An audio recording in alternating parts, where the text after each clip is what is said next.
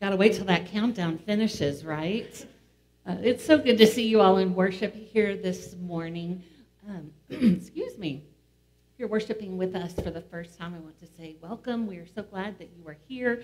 Um, I know there's someone nearby who will be welcoming you one on one, but just know that we are so glad you're here.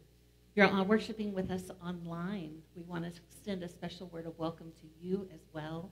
Uh, you are a part of this worshiping community today um, whether you are near or far. Um, we are worshiping God together this morning. And so I invite you to check in with one another there in the chat. Becky Bond is in the chat with you this morning.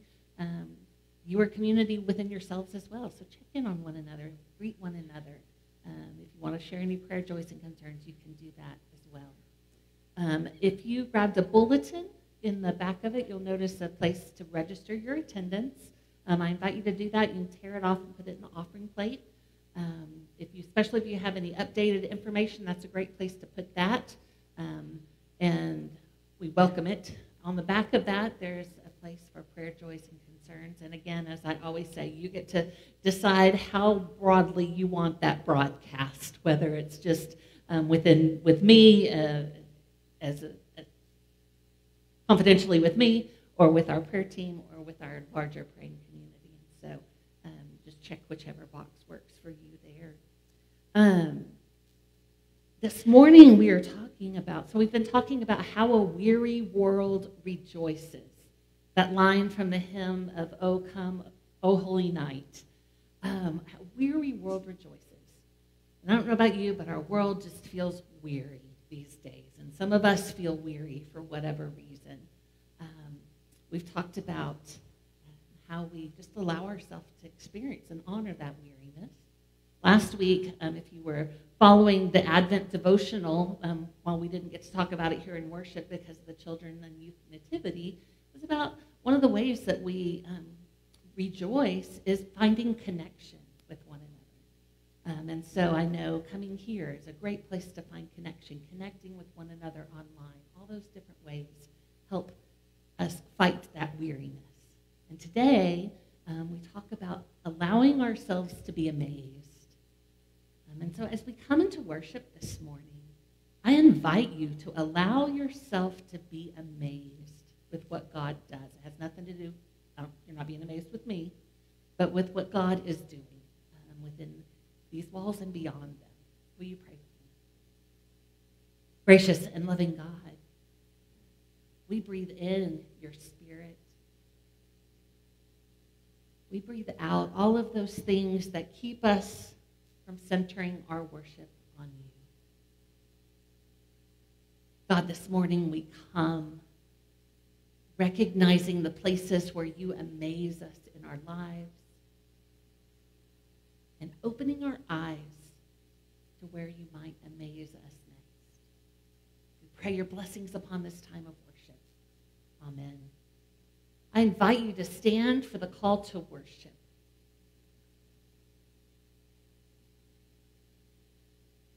Our God can part the sea. God can bring water from a rock and provide bread in the desert. Our God can walk on water. He can heal the sick and turn water into wine. Our God sets the stars in the sky. God hears our voice when we cry and is closer than our own breath. There is nothing our God cannot do. Let us stand in awe. Let us worship God with wonder. All right, I ask y'all remain standing as we we're going to sing a couple songs here. We're going to do them back to back this time. We're going to start off with Trading My Sorrows.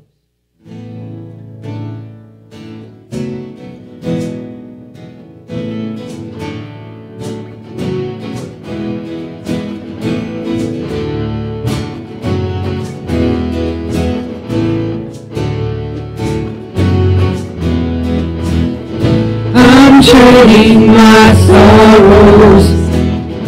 I'm trading my shame.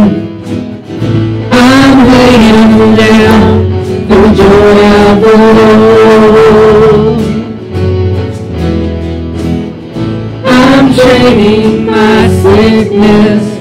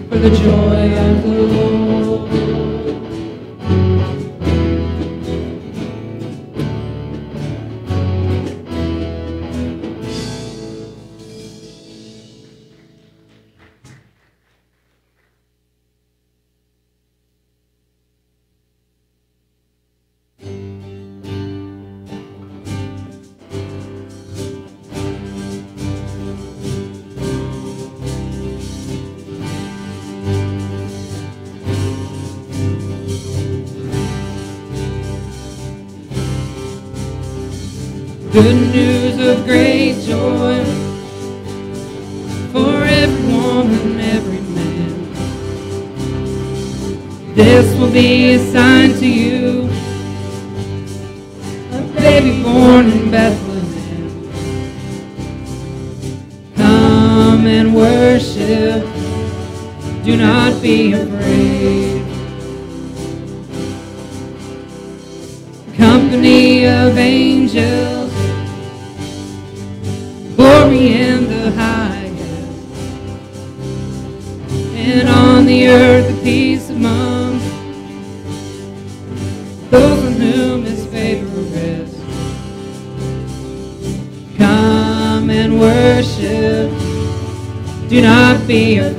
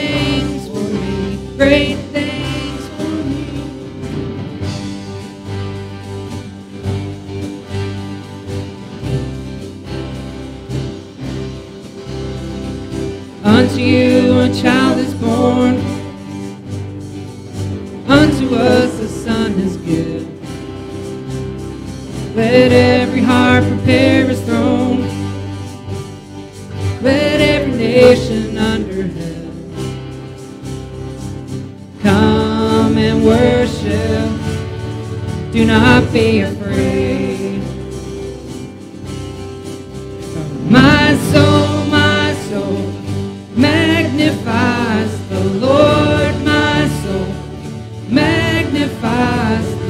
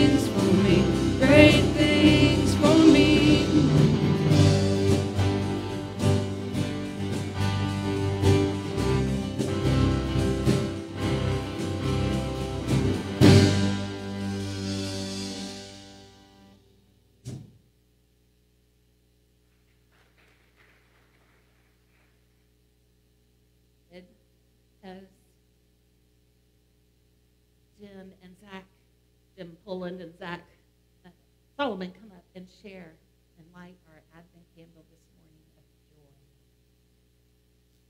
How does the weary world joy.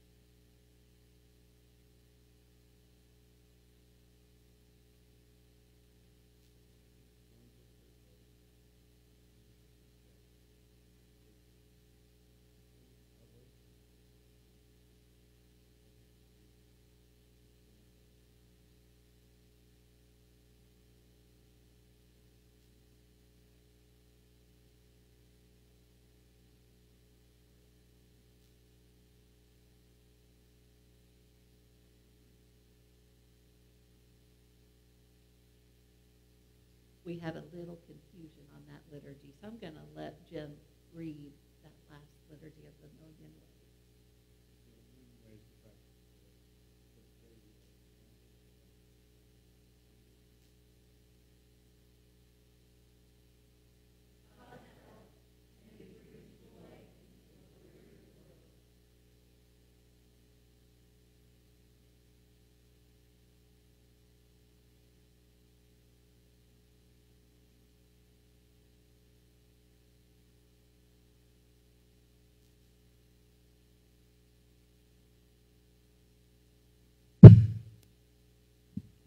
much shorter than this microphone. Okay. Today's scripture comes from Luke chapter 1, verses 57 through 66. Now the time came for Elizabeth to give birth, and she bore a son. Her neighbors and relatives heard that the Lord had shown his great mercy to her, and they rejoiced with her. On the eighth day, they came to circumcise the child, and they were going to name him Zechariah after his father. But his mother said, No, he has to be called John. They said to her, None of your relatives has this name. Then they began motioning to his father to find out what name he wanted to give him. He asked for a writing tablet and wrote, His name is John. And all of them were amazed. Immediately his mouth was opened and his tongue freed, and he began to speak, praising God. Fear came over all their neighbors, and all these things were talked about throughout the entire hill country of Judea. All who heard them pondered them and said, What then will this child become? For indeed the hand of the Lord was with him. The word of God for the people of God.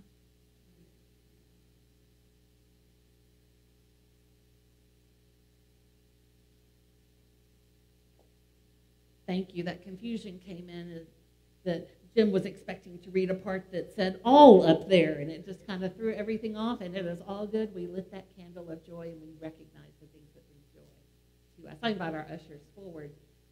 I'm not going to give the whole sermon away, but one part of it talks about how joy ultimately leads to gratitude. So as we experience joy during this holiday season, the joy of the Christ child coming, the joy of all the things that represent Christmas.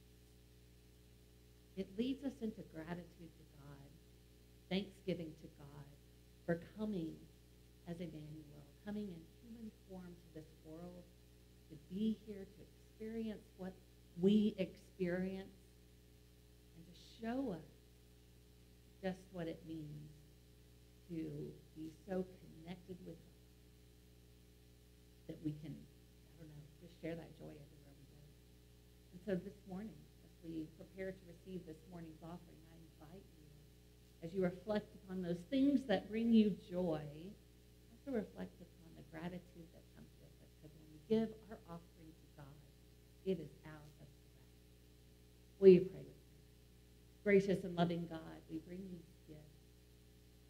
As we consider the joy that you bring into your lives, we also consider thankful we are for you and all that you do. And our hearts overflow, God, and we can't contain it. So we pray that you will receive these gifts, transform them into mission and ministry within and beyond these days.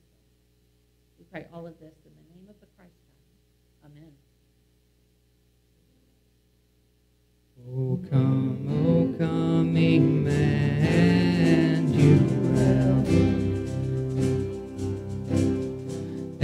ransom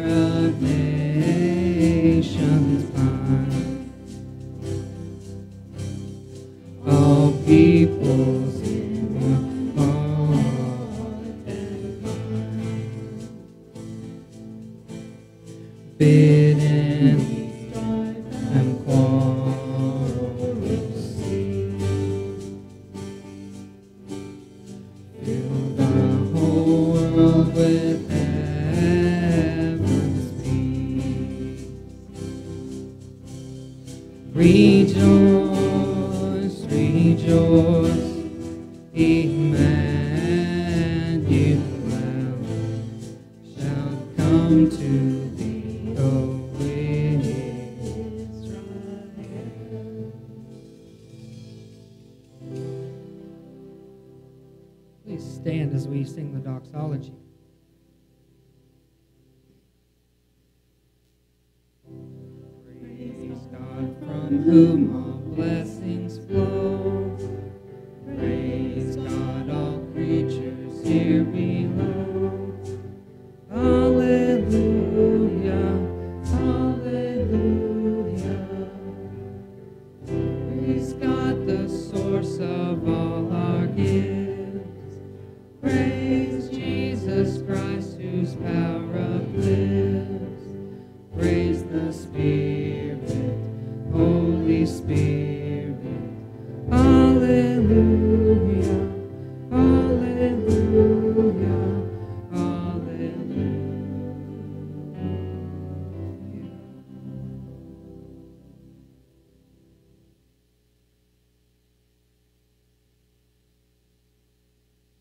Invite the children to come on up for children's time.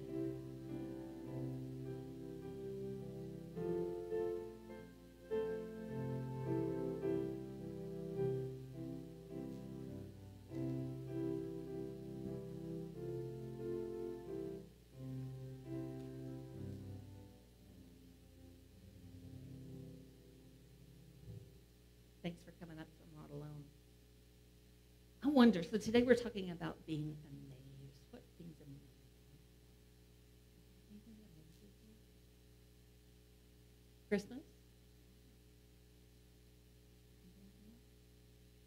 I want to share with you something that amazes me. I don't know why, but I have, for a good long time now, been amazed at spirals. And you see them in nature in so many different ways. In fact, Christopher got this book. She's right. All right. Try that again. So there are spirals throughout nature, and Christopher got this book when he was little, and you can see all these places where spirals are. You see them in shells, right? And they're these perfect spirals. And even when, like, a hedgehog or a hamster, they scroll, go into a spiral, you see spirals in um, seahorses, thank you. Um, these fiddle ferns that kind of just curl right up there, right? This has been on my screensaver recently. Snails, you see that spiral?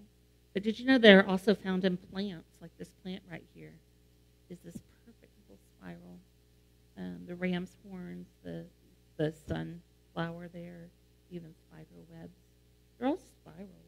Hmm? Yeah, the elephant's trunk when it spirals up.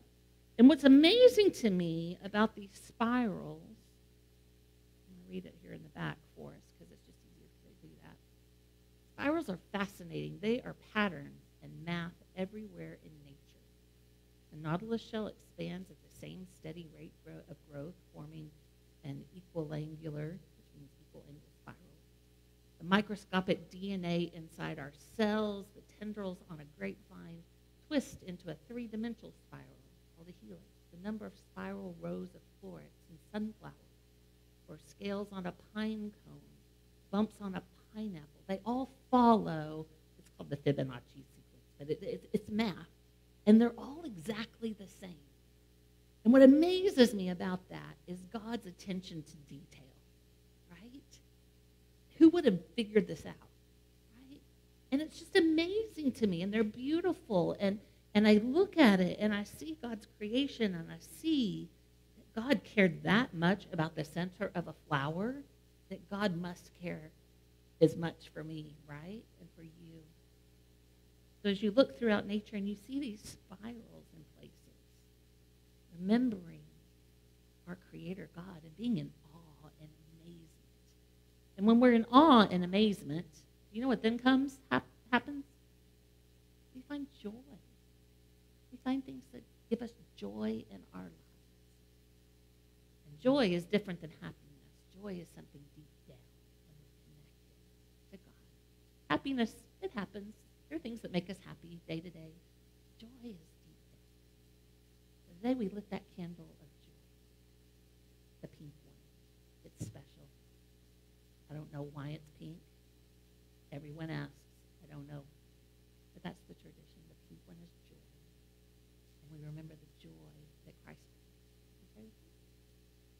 Dear God, thank you for bringing joy into our lives. For all the ways we see you around us in nature,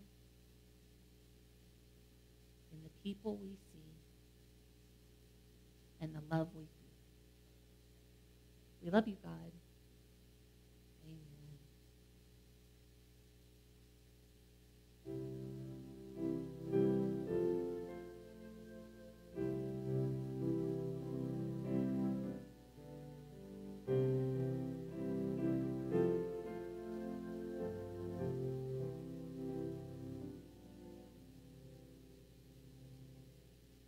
Will you pray with me?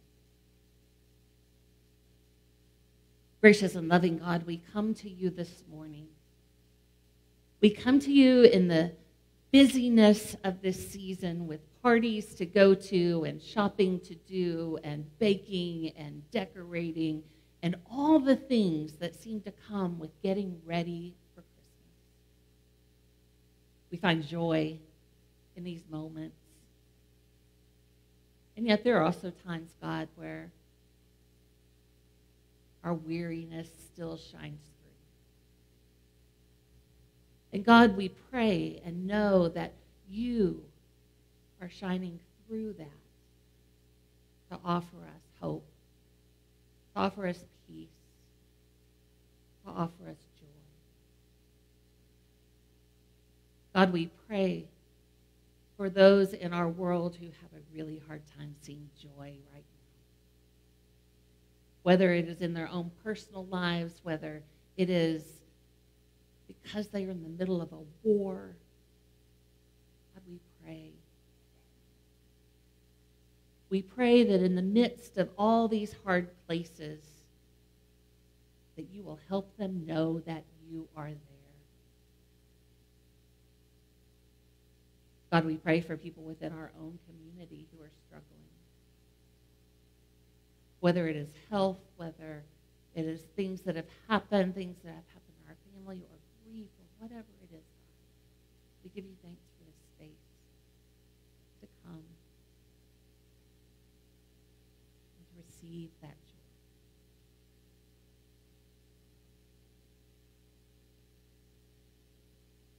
joy. God, we lift up those within our community, in Parker County, who aren't sure where their next meal may come from or where they will sleep tonight. We pray for our children in our schools, for our teachers. Keep them safe. And we give you thanks, God, for those kids who teach us what joy is. God, in the silence, we lift our own prayers up to you.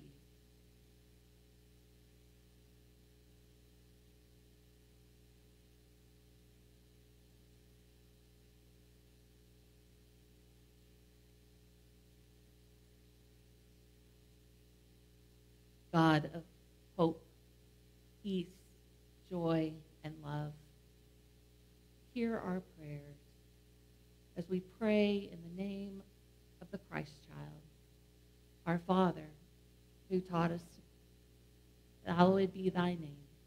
Thy kingdom come, thy will be done, on earth as it is in heaven. Give us this day our daily bread, and forgive us our trespasses, as we forgive those who trespass against us. And lead us not into temptation, but deliver us from evil. For thine is the kingdom power, and the glory forever. Amen. As we sing this next one, we fall down. The altar will be open.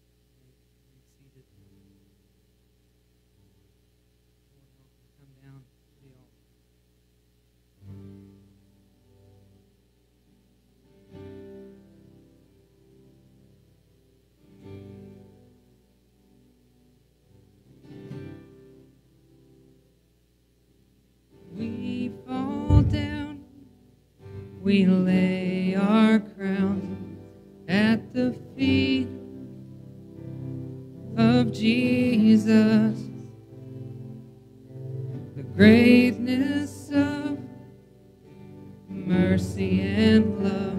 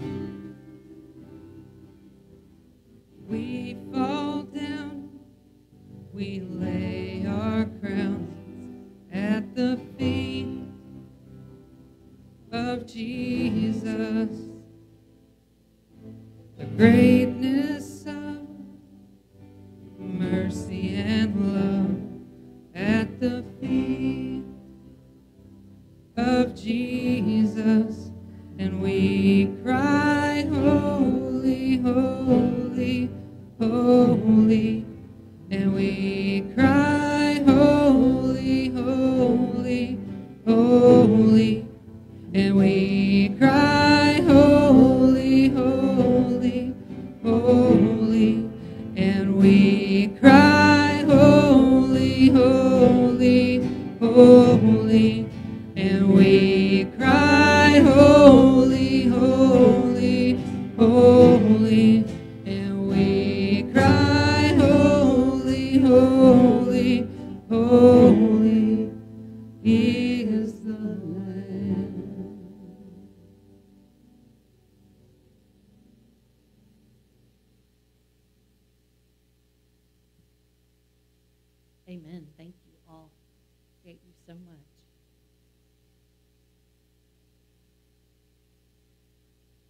So, true story.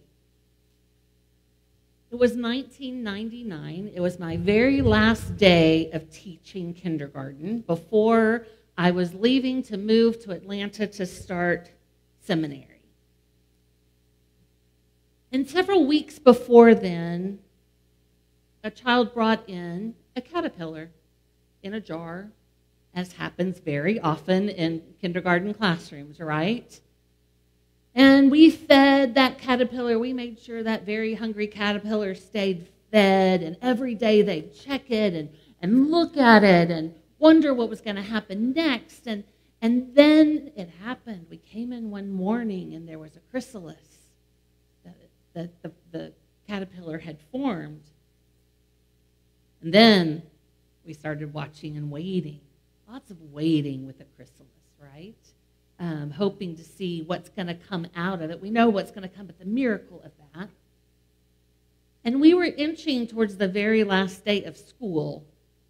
And I was very worried that this caterpillar, this chrysalis, was not going to happen, that the butterfly was not going to happen before that last day of school finished.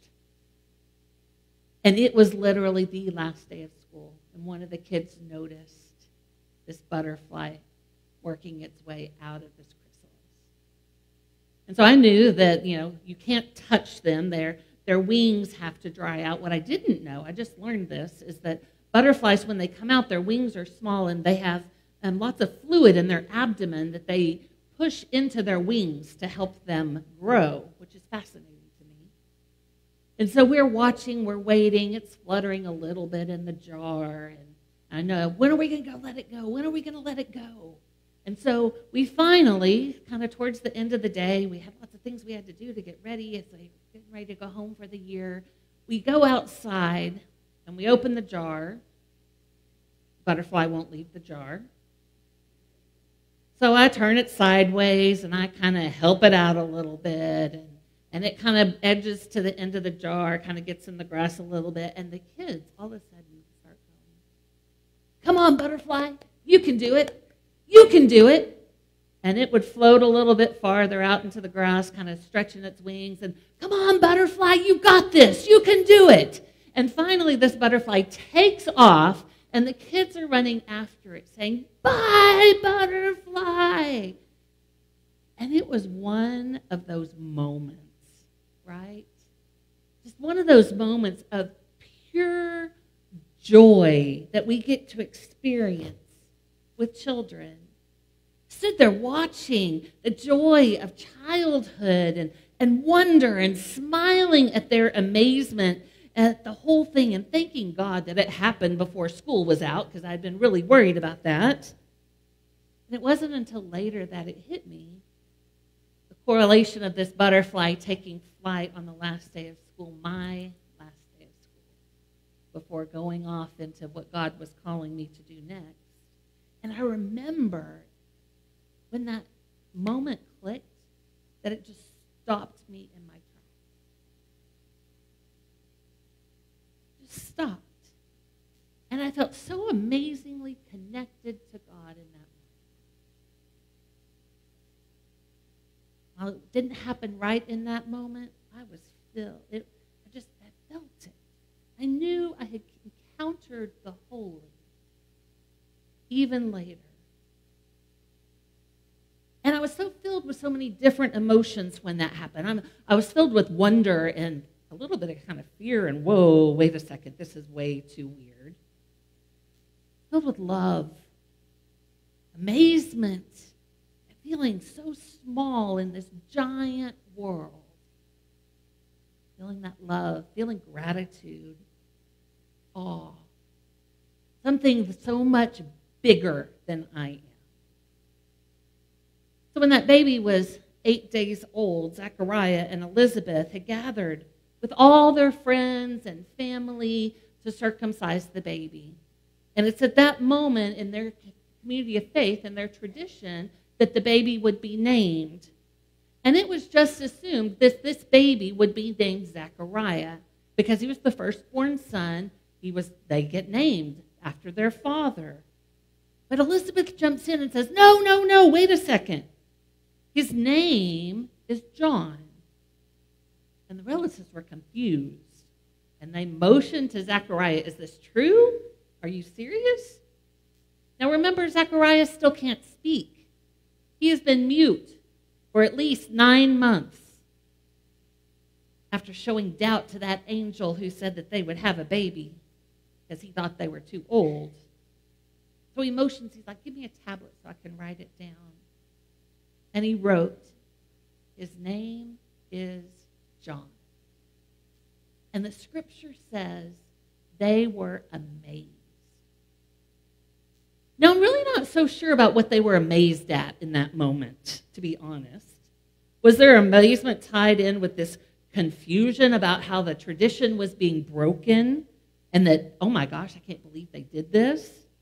Were they amazed that Zechariah actually backed his wife up and said, Oh no, his name is John? Because it wasn't until Zechariah, it was later that Zechariah was able to speak again. That amazement wasn't in that moment. Then it says his mouth was open, his tongue freed, and he started praising God. But as Zechariah started praising God, it says that fear came over their neighbors, and everyone was talking about what happened. Do you hear what happened at that kid's circumcision? Oh my gosh. Do you know what happened with Zechariah and Elizabeth's baby? That, or what happened with Zechariah and oh my gosh, they named him John and then and then Zechariah was able to speak again and you just know that gossip mill is working, right? Because it even says that they talked about it throughout the entire hill country of Judea. This was a big deal. And they began to ask the question, what then will this child become? What does this mean? Who is this kid? And they knew, it says, that the hand of the Lord was upon him. Amazement, possibly some disbelief, wonder, fear, curiosity, certainty, connection with God, joy. All of these emotions, I'm sure, were happening. They all seem tied up together, don't they? of starts small and, and then it grows into something a little bit larger. As Reverend Cecilia Armstrong says in her commentary um, on the scripture that we'll be reading for this coming week in our Advent devotional, she says, When we are amazed, we tend to share the news, either seeking validation that it is shocking news or to witness the shock factor the news has on others. Isn't that what a lot of our gossip is about? Either I need some validation that I'm right and everybody else sees this crazy thing happening, or, oh my gosh, did you know? And trying to get the shock value out of another person. We know that we're not imagining it, that others believe that we, we had that holy encounter, that we had that moment. What about those smaller moments? So I remember in later years, um, I was working in a hospital as a chaplain. I was in clinical pastoral education, just means that we had classes in the midst of working in the hospital and had to write a lot of papers. But I was writing a reflection paper, and it was I was really struggling in that moment in my life, and I had a lot of questions. And I had this nudge to Google what happens in a cocoon, in a chrysalis. Now, I had always just assumed that that caterpillar somehow transformed and his legs, I don't know what happened, but, but the body of the caterpillar became that um, body of the butterfly. And then, you know, it grew some wings. Did you know that actually what happens inside a chrysalis is that that caterpillar completely disintegrates into goo? Just goo. And then out of that goo, the butterfly emerges and is formed. And I had this epiphany in that moment, and this moment of awe that out of this complete disintegration, this goo, this messiness of life, God does something amazing. It's a simple Google search. Any other person might just see it as a cool scientific fact. And when I stopped and I paid attention, in that moment, it was so much bigger. It was a small encounter with the holy. Have you ever had those moments when that amazement just kind of overwhelms you? The beauty of the trees right now, you take a drive. Pride of a child when she reads that first book for herself. The kindness of someone taking the cart in the parking lot for us so that we don't have to go find the place to put it. The smell of a cup of coffee on first thing in the morning. Maybe it's even pausing to see the bigger things. The colors of an incredible sunset, the, the stars when we're out of town away from the city lights, standing at the edge of the Grand Canyon. Pictures from the Hubble telescope. Have you seen them? Check this. Is this not amazing? This is our, this is beyond, it just, when we allow ourselves to be amazed. What happens when, when we are looking for things to cause feelings of awe? When we notice those small or those large things around us and stand amazed at what our God is doing. Requires this posture of, of paying attention and then saying yes when that wonder just kind of pours over us. It awakens the numbness in us. It renews our dull senses. Some researchers even believe that awe induced events may be one of the fastest and most powerful methods of personal change. And surprisingly, that can then turn into joy. Researcher Brene Brown, in her book, The Atlas of the Heart, defines joy as an intense feeling of deep spiritual connection, pleasure, appreciation. Deep spiritual connection. Joy is different than happiness. Happiness is more fleeting. Brown defines happiness as related to the immediate environment, the current circumstances. I can be going through a really hard time in my life and I can appear happy. Sometimes that's hard. It's that deep joy that helps me put another foot in front of the other. With God, with joy, we feel it in our souls, this deep, deep connection with our God. And when we think about it, joy, as I mentioned earlier, then leads to gratitude. In fact, Brown points out that researchers describe the relationship between joy and gratitude as an intriguing upward spiral. Intriguing upward spiral. What a great image. The opposite of that downward spiral that we often find ourselves, right? When we just kind of keep going down and further down and further down. So think for a moment. We, we find ourselves in this weary world and, and we allow ourselves to be amazed at something. And we practice being amazed. And it then leads to joy, feeling of deep connection with God, and it leads to gratitude, which spirals into rejoicing. The Gospel of Luke really emphasizes amazement. This word appears 15 times within 24 chapters. All who heard it were amazed at what the shepherds told them. And the child's father and mother were amazed at what, what was being said about him. All spoke well of him and were amazed at the gracious words that came from his mouth. They said, Is not this Joseph's son? Amazement seized all of them, and they glorified God and were filled with awe, saying, We have seen strange things today. Chapter 8, he said to them, Where is your faith? They were afraid and amazed and said to one another, Who then is this that he commands even the winds and water, and they obey him? Now he was casting out a demon that was mute. When the demon had gone out, the one who had been mute spoke, and the crowds were amazed. But Peter got up and ran to the tomb. Stooping and looking in, he saw the linen cloths by themselves. Then he went home, amazed at what had happened. It occurs 11 more times in the book of Acts, which was written by the same author.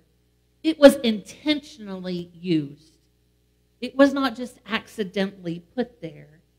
It was used to try and capture this, this surprise, this wonder, this fear, this awe that happens when we realize we're encountering something bigger than ourselves, when we are encountering the sacred. Do you ever stand in awe and amazement that our God came in the form of a baby and grew up right on this earth? Do you ever just get amazed by that? I wonder what ha- might happen if we if we practice some of this intentionality of being amazed this week, when we keep our eyes open and we're in this attitude of paying attention, wonder if we might find ourselves in that upward spiral, spiral that leads to rejoicing. Can't hurt to try, can it? Will you join me in doing that this week? In the name of the Father, the Son, and the Holy Spirit. Amen.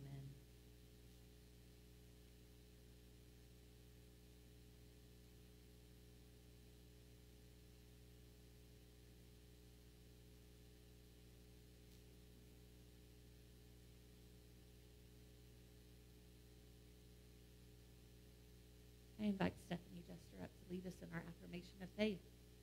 Our affirmation will be a little bit different today. There is a response from the congregation that's a part.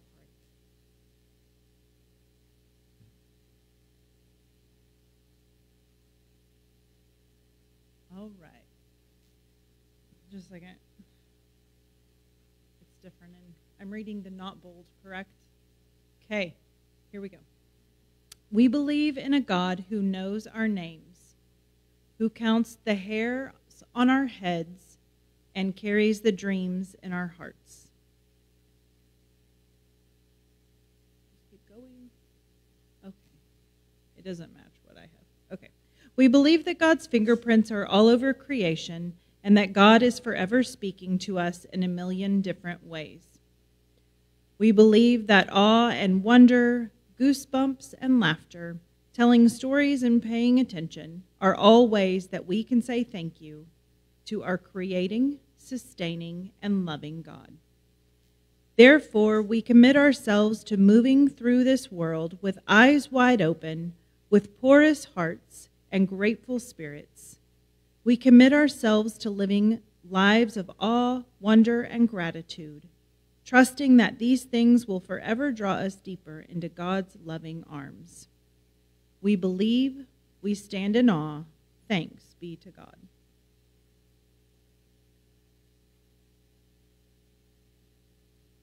I apologize for some of the confusion in our slides this week. we'll get it straight.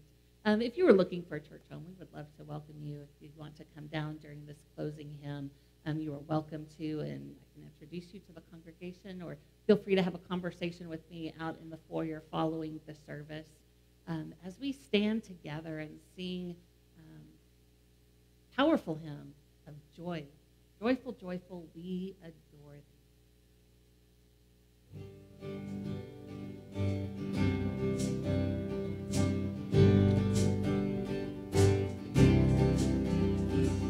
Joyful, joyful, we adore thee, God of glory, Lord of love. Hearts unfold like flowers before thee, opening to the sun above. Melt the drive the dark of doubt away. Giver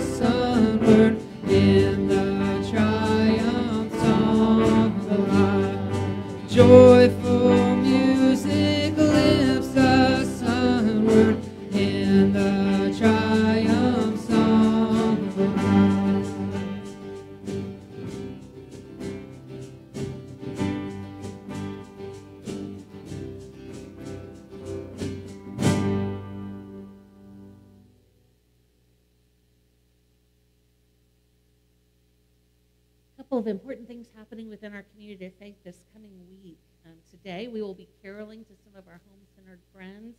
Spoiler alert to some of you online. Um, we'll meet at 2 o'clock in the fellowship hall. Come decked out. This is open to everyone. Um, if we have more people, then we can split in half and divide and conquer. Um, but uh, it'll be a wonderful time of sharing uh, joy, sharing joy with those who are home centered. On Tuesday night, we will be um, partnering with CCA, our school, um, to create these cocoa reindeer. Um, we'll make 500 of them. It's a fun little assembly line that all can participate in. They're jobs for people of all ages. Um, come and help and do that, interact with our CCA families. All of those reindeer will then be donated to Center of Hope for their big Christmas event coming up. Um, on Wednesday, um, we will actually have our Holland Lake Christmas shop. Um, I know a number of people have brought some things. People have donated money, and Nancy is taking care of all of that. Um, that will be from 9 a.m. to noon if you want to come. Um, the residents of Holland Lake get to shop um, from what we bring for their loved ones because they can't always get out. If you have any questions or would like to help, see Nancy um, right down here. On Saturday, mobile food pantry at South Main Church of Christ. We are responsible for for supplying the the people power for that. Um, our youth are a part of that, but so is this entire congregation. So please feel free to meet there at South Main Church of Christ at 8 a.m. And then next Sunday at 6 p.m., we'll have our normal worship service in the morning. At 6 p.m., we'll have our service of healing. I'm sorry, our service of hope, um, our of hope and wholeness and healing, um, especially for those who are struggling uh, through this holiday season. And then finally, on Christmas Eve, just as a reminder, there will be no Sunday school. Um, we will have our regular worship. We'll have Christmas Eve worship at both 10:30 and 7 p.m. It'll be the same service. Um, so come to one of them or come to both. It's wonderful to see the sanctuary in the daytime and it's beautiful to see it at nighttime. Um, all will have candles and communion and carols. We receive this benediction? Go forth and teach as you've been taught, to serve as you have been served, to love as you have been loved, as a beloved child. In the name of God the Creator, God the Redeemer, and God the Sustainer. Amen. I'm trading my sorrows. I'm trading my shame. And I'm laying them down for the joy of the Lord. trading my sickness. I'm trading my pain. I'm laying it down for the joy of the Lord. We say yes, Lord.